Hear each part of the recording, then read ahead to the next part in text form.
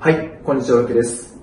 え今回はですね、思い通りの結果が出ない時の成功者の思考法について話をしていきたいなと思います。で僕のチャンネルはビジネスのチャンネルですので、思い通りの結果が出ない時っていうのは、まあ、ビジネスでね、えー、うまく思い通りの結果が出ていないという時に、成功者だったらどういうふうに考えていくのか。で、逆に言えばね、成功しない人っていうのはどういう考え方をしていくのかということを話していきたいなと思います。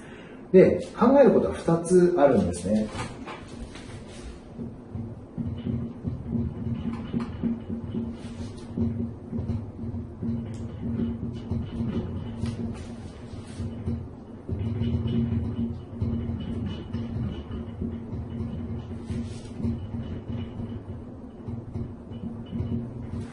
まずコントロール可能なことなのか、コントロール不可能なことなのかっていうことを考えていく必要があります。で、まあ、成功者の場合っていうのは、コントロール可能なことを考えていくんですね。自分でコントロールができる範囲のことを変えていこうっていうふうに考えるのが成功者の考え方になります。で逆に成功がなかなか難しい、成功できない人の考え方っていうのは、どちらかというと、このコントロール不可能なことに頭を使っているということが言えるんですね。で具体的にじゃあちょっと例を挙げていきたいと思うんですけれども、まあ、コントロール不可能なことって何なのかっていうことですね。まあ、僕は物販をやってますので、まあ、物を商品をね、仕入れて販売するっていうようなことをやってるんですけれども、まあ、いろんな市場にね、商品を出すんですよ。まあ、それこそフリマサイトだったりとか、まあ、ヤフーオークションだったりとか、まあ、アマゾンだったりとか、いろんな市場にね、商品を出しているんですよね。で、そうした時に、この市場の流れっていうのが、やっぱりあるんですよ。ね、物が売れやすい時期、売れにくい時期っていうのがあるんですよね。繁忙期なのか、そうじゃない時期なのかっていう時期っていうのがあるんですけど、この流れっていうのはまず変えることはできないわけですよね。まあ、な、なぜかって言ったら、市場っていうのはね、人がたくさん集まって買い、買ったり売ったりっていうのをしているのが、まあ、市場じゃないですか。ね、その大きなあエネルギーの集まりに対して、ね、人一人がそこにね、えー、その流れを変えるっていうことはまずできないわけなんですよ。僕一人がどれだけ頑張ってもね、えー、まあ商品が売れやすい市場を作るってことはまずできないってことなんですよね。大きな流れにはやっぱり勝てないってことなんですよね。うん、なので、この市場の流れっていうのを考えてしまう。まあ、商品が売れないのはあ、この市場が悪いからだとかね、商品が売れない、売り上げが上がらないのは、今ね、商品が売れにくい時期なんだっていうふうに考えてしまう。まあ、考えるまではね、まだしも、考えて思考停止しちゃうっていうのが問題なんですよ。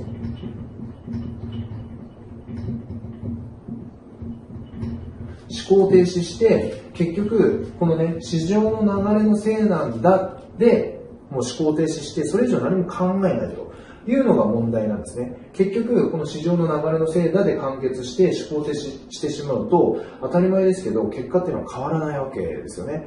この思考停止に陥らずに、コントロール可能なことは何なんだろうかっていうことを考えていく必要があるということですよね。ずっとここのコントロールできない範囲の領域で考えをストップするんじゃなくて、じゃあどうやったらね、商品を売ることができるんだろうっていうことを考えていくっていうのが、まあ、このコントロール可能なことを考えていくっていうことになります。まあ、例えばあ、扱ってる商品を変えるとかね、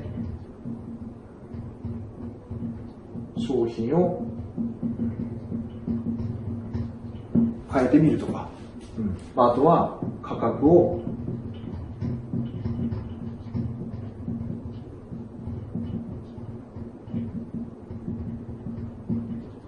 を見直してみるとかね、いろいろあると思うんですよ。まあ、写真を変えてみる。まあ、僕らの文化で言ったら、商品写真っていうのがね、ネットで売ってるので、写真を変えてみるとか。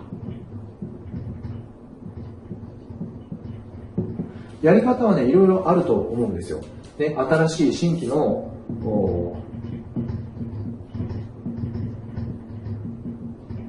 新規の、えー、販路を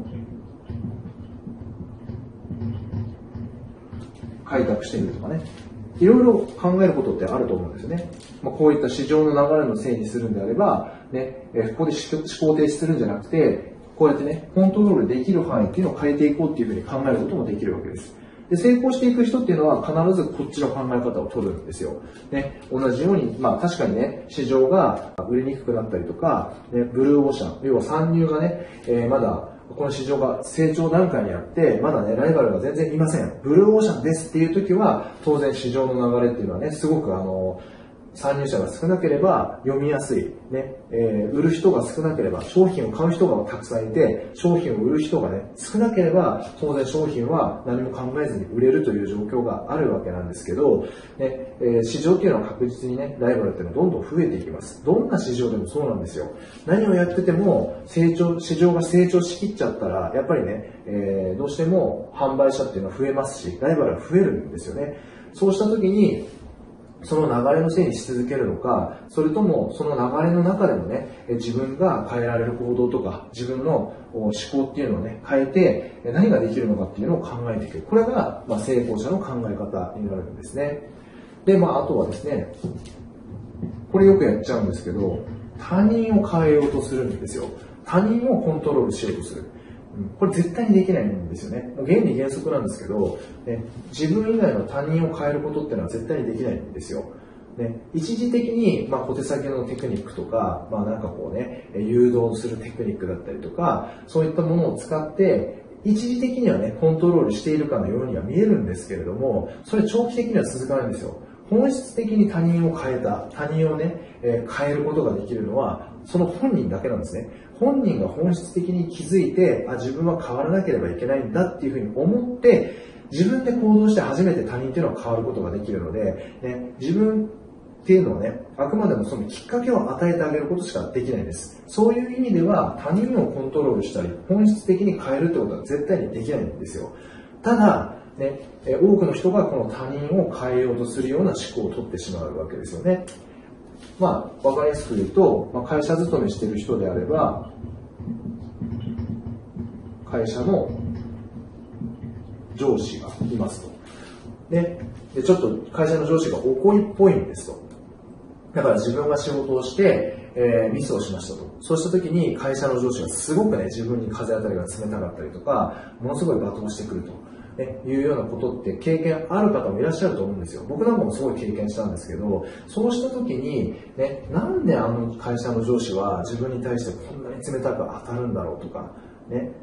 もっとね、優しく接してくれないかなとか、ね、なんでこんなちっちゃなミスであそこまで言われなきゃなんないんだろうとかね、うん、そういうことばっかりをやっぱり考えてしまうんですよ。どうしてもね。で、逆の考え方、違う考え方もできるんですよね。じゃあ、そういう上司を変えようとするんじゃなくて、ね、えもうそういう上司は変えられないから、ね、じゃあ自分がそういうことを言われないようにするためにはどうするんだろう、ばいいんだろうと。ね、えー、上司がね、こういう怒りっぽい人だっていうのも変えられないから、ね、自分、今の自分だからこういうね、えー、上司に、すごく怒られると。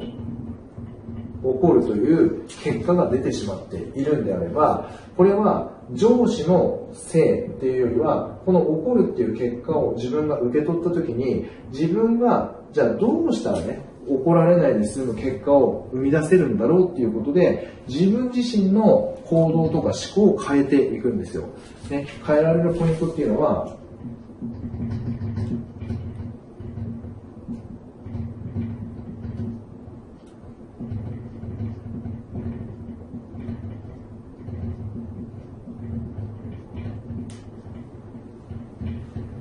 この2つだけなんですね。自分の思考と自分の行動を変えることしかできないんですよ、基本的にはね。だから何かしらの結果が生まれましたとしたときに、ねえー、環境とか他人のせいにして思考停止に陥るんじゃなくて、ね、この結果を受けたら、じゃあどうやったらで、自分がどういう考えを持って、どういう行動をしたら、この結果を変えられるんだろうかっていうことを考えていく。これが成功者の考え方なんですね。だからビジネスでうまくいってません。まあ、例えば売上が上がりません。ね、売上が、ね、伸びないと。こういう結果が生まれてますってしたときに、ね、えー、何かこういうコントロール不可能なことをね、いろいろ理由を考えていって、そっちのせいに全部しているという状態であれば、まあ、結局思考停止するんですよ。ね。それ以上何も考えたくないんですね。めんどくさいから思考停止が楽なんですよ。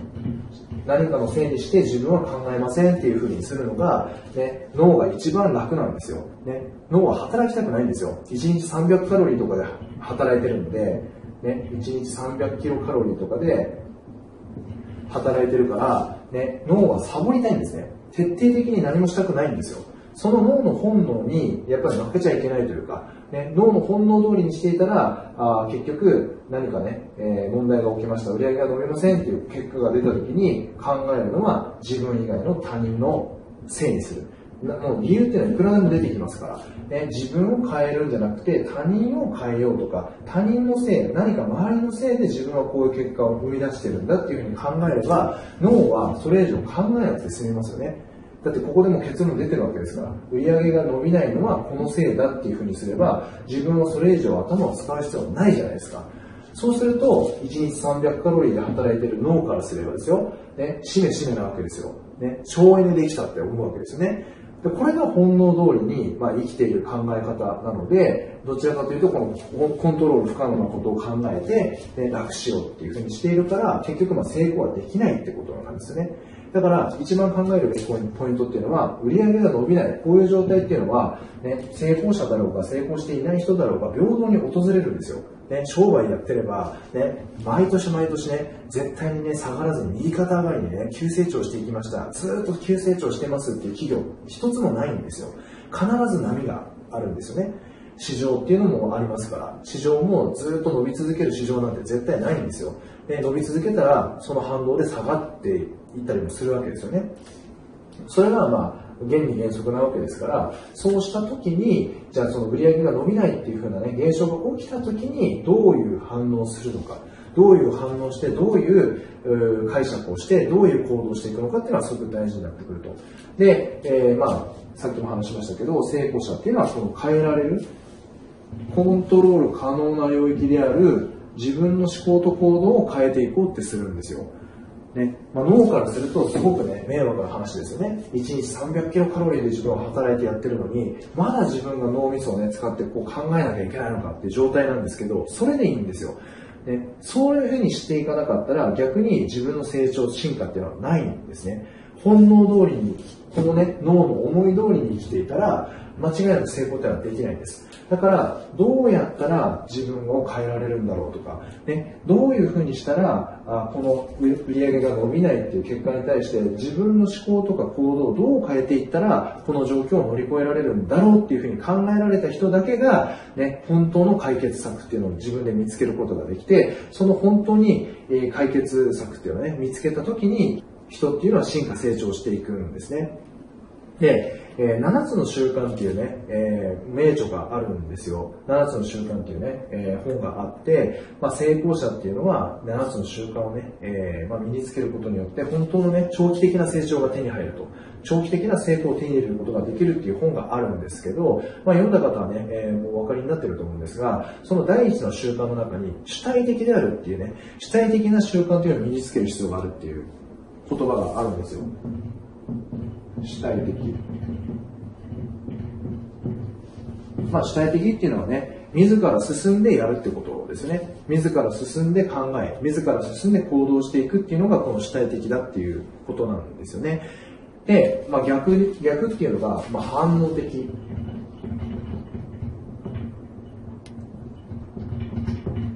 反応的ですよね。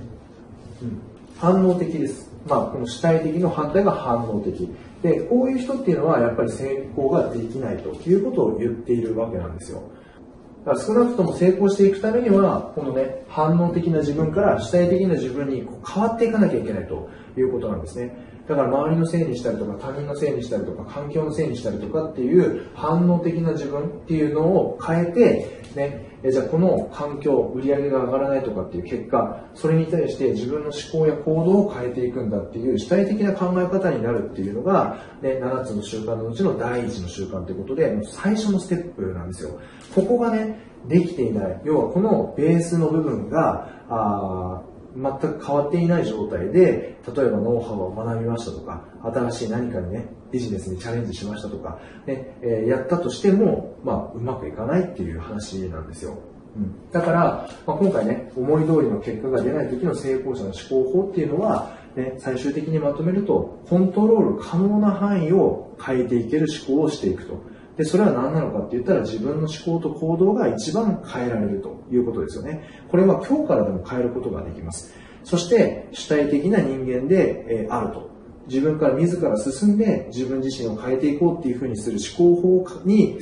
自分を切り替えていかなかったら、ね、成功っていうのは手に入れることができないと。逆に言えば、こういう主体的な自分をね、まずその習慣として身につけることさえできれば、あ次のステップ、次のステップということで、えー、成長していくことができるというのが今回の話になります。はい、えー、今回の話があなたにとって何かの良い気づきになったということであれば、ぜひグッドのボタンを押して応援していただけると幸いです。でこういった動画どんどんアップしていきますので、ぜひチャンネル登録の方もよろしくお願いします。動画の下にですね、えメルマガ登録と、あとは公式 LINE っていうのを始めましたので、ぜひ LINE の登録もよろしくお願いします。えー、まあ、情報をね、漏れなく見ていただきたいという方は LINE もね、え公式 LINE の方も、メルマガの方もですね、両方登録していただくと、こういった情報漏れなく見ていただけますので、ぜひ登録の方よろしくお願いします。はい、それではあなたの貴重なお時間いただきありがとうございました。感謝いたします。